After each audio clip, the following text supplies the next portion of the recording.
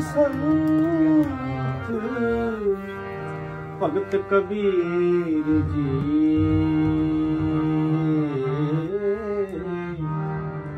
ਮੋਲੀ ਤਰਤੀ ਮੋਲਿਆ ਆਕਾਸ਼।